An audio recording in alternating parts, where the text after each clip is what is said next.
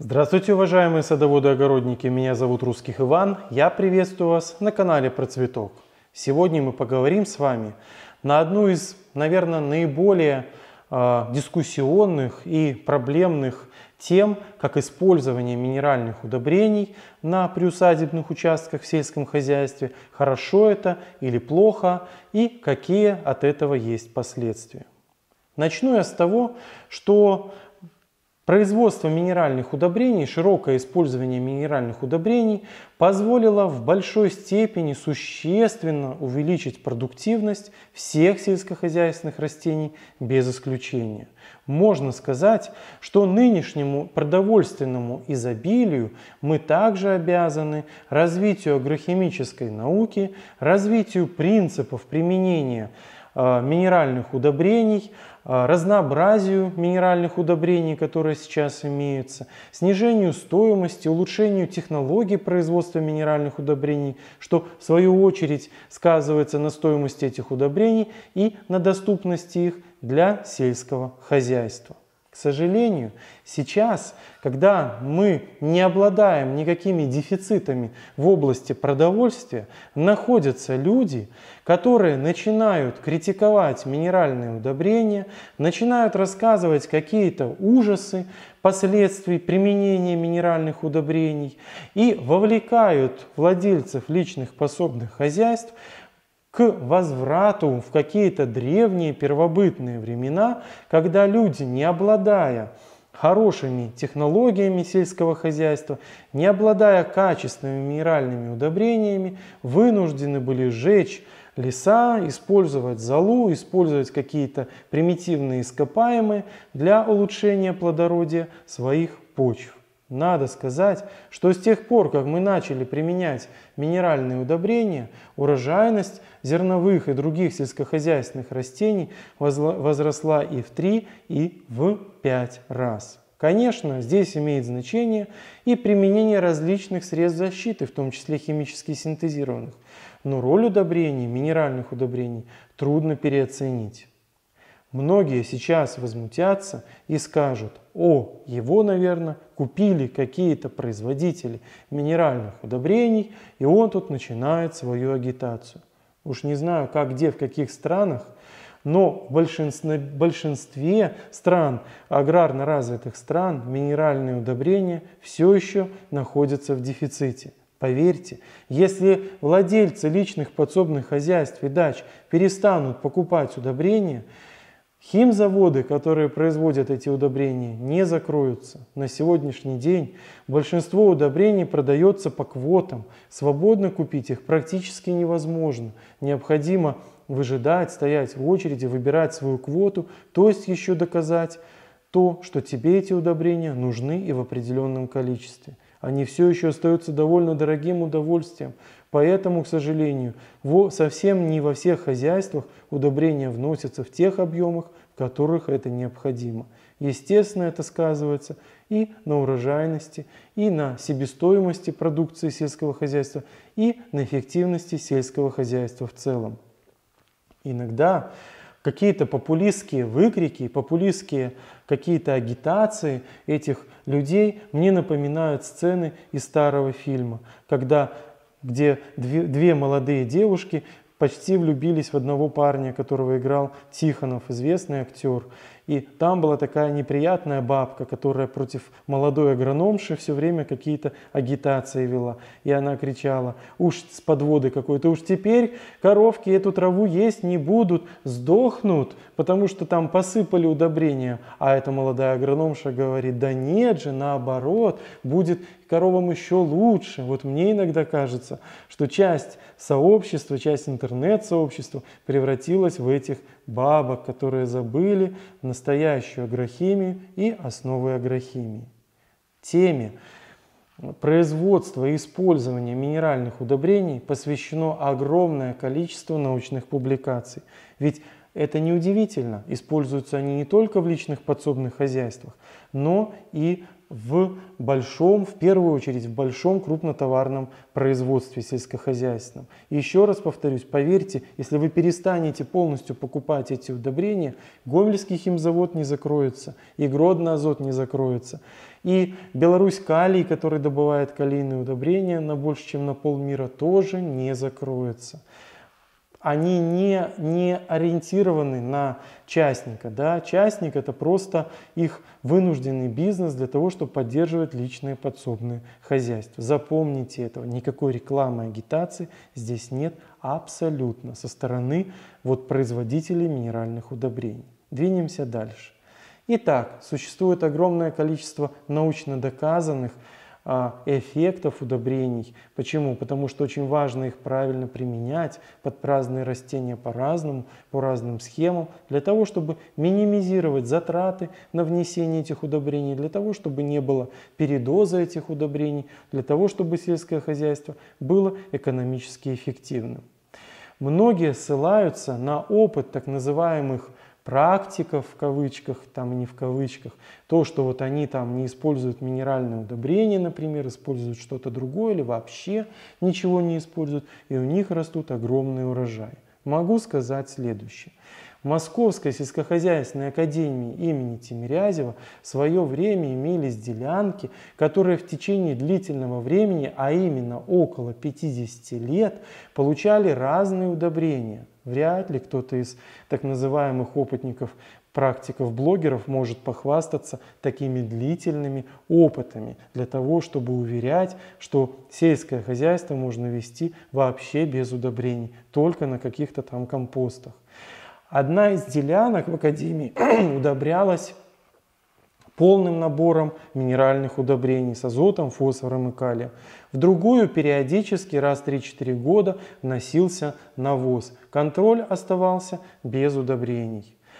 Аналогичный опыт был поставлен в свое время также и на Сумской опытной станции. Здесь Э, этот опыт длился порядка 20 лет. Результаты во всех точках проведения экспериментов, но не только в этих точках, было по всему миру такие опыты закладывались. Особенно в начале 20 века, когда химическая промышленность очень активно развивалась.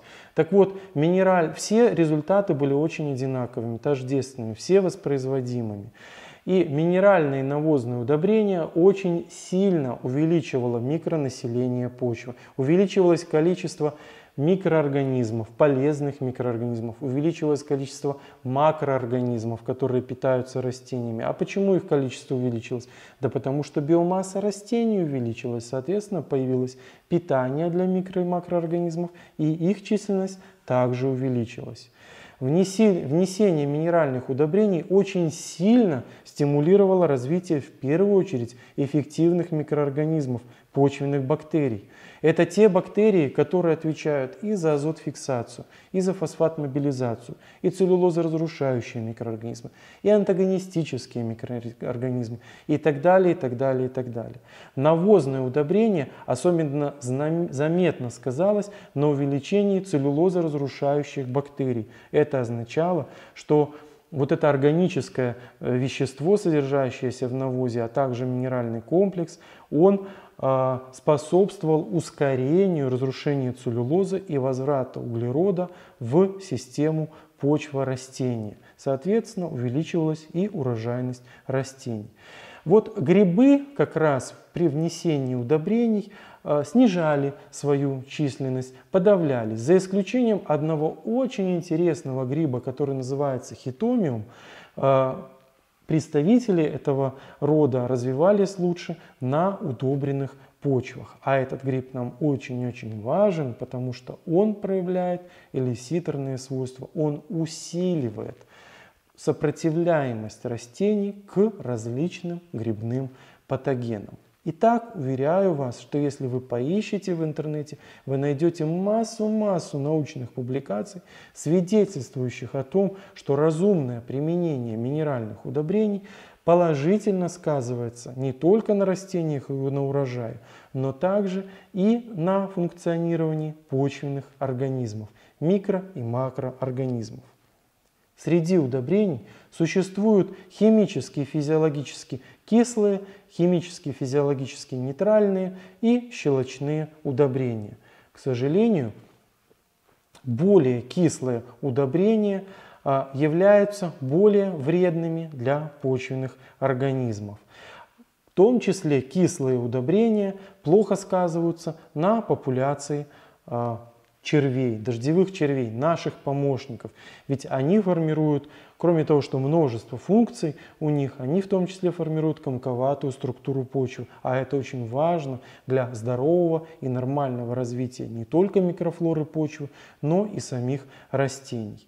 Кислые удобрения могут неблагоприятно сказываться на взаимоотношении э, микробов и растений, особенно кислые удобрения – но это дело поправимое. А к кислым удобрениям, кстати, относится большинство азотных удобрений. Именно поэтому, если вы пользуетесь минеральными удобрениями, необходимо либо систематически вносить золу на гряды, либо хотя бы раз в 5 лет проводить известкование почвы, то есть вносить щелочные известковые удобрения в виде извести, мела, ну каких-то еще кальций содержащих а, карбонатных субстратов, доломитовую муку и так далее. В этом случае физиологически кислые удобрения полностью утратят свое негативное влияние на почвенную микро- и макробиоту и все будет развиваться гармонично. О чем это говорит? Это говорит о том, что просто что-то взять в магазине, купить и посыпать этого недостаточно для того, чтобы грамотно вести сельское хозяйство, в том числе на приусадебных участках. К важным эффектам применения удобрений в целом в сельском хозяйстве является сильное изменение э, взаимоотношения растений с их консортами так называемыми, ну, например, с микоризой и, например, с ризосферными бактериями. Когда мы питаем растения доступными элементами питания, в этом случае растения перестают поддерживать те микроорганизмы, которые обитают у них на корнях, в их тканях и в ризосфере, то есть в зоне обитания корней. Это может сказываться следующим образом. При внесении азотных удобрений количество клубеньков и клубеньковых бактерий уменьшается. Уменьшается количество целлюлолитических бактерий иногда. Уменьшается количество э, микоризных микроорганизмов уменьшается количество антагонистических микроорганизмов. Однако же все эти процессы можно регулировать путем внесения значительного количества органического вещества. В этой связи наиболее оптимальным является применение органических и минеральных удобрений по определенным схемам. Каждое удобрение, фосфорное, азотное, калийное, у них есть разные разновидности и имеют свои особенности внесения, о чем мы с вами обязательно поговорим в наших выпусках. Но результатом этого выпуска я хочу сделать ваше понимание, что минеральные удобрения ни в коем случае не являются нашими врагами, а только нашими друзьями. Ну и еще подумайте, ведь вечных двигателей не бывает – мы изымаем наш урожай, изымаем его из почвы, мы изымаем органическое вещество, мы изымаем с урожаем азот, фосфор, калий, кальций, все остальные элементы питания растений. Если мы из растительных остатков сделаем компост и внесем его назад в почву, то мы не внесем то количество, которое изъяли.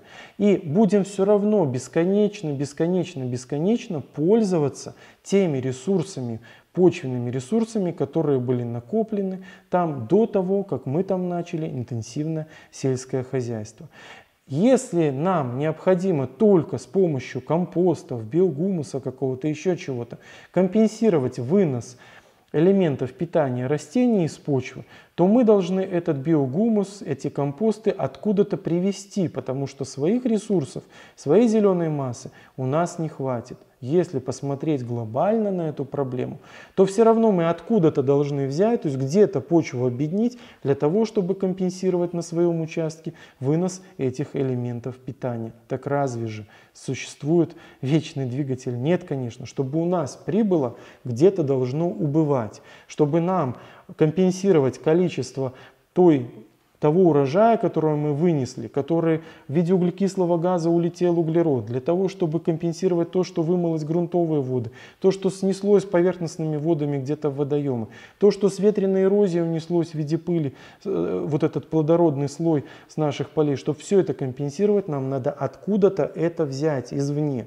Так неужели вы готовы где-то обеднять для того, чтобы свое обогащать? В этом нет ни грамма, ни здравого смысла, ни, ни какой-то рациональной в этом идеи. Поэтому без минеральных удобрений нам абсолютно не обойтись. Либо, конечно, можно заменять минеральные удобрения органическими аналогами. Чем каждый из типов удобрений можно заменить, мы с вами обязательно поговорим опять же в выпусках на канале про цветок. Что ж, на этом я прощаюсь с вами. До новых встреч!